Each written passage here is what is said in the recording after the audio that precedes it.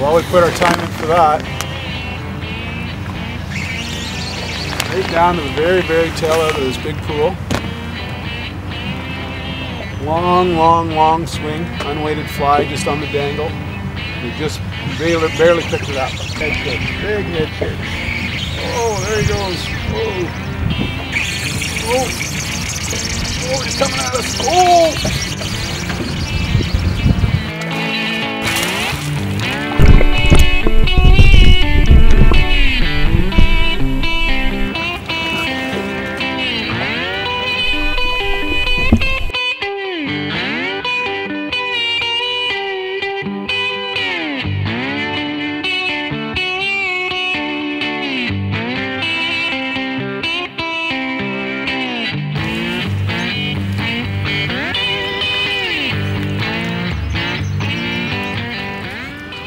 On the swing with the spey rod, spawned out hen. See her tail here, she just beat up a bit from making her bed, but she's just about to heal up. She's completely empty. Cool. Nice.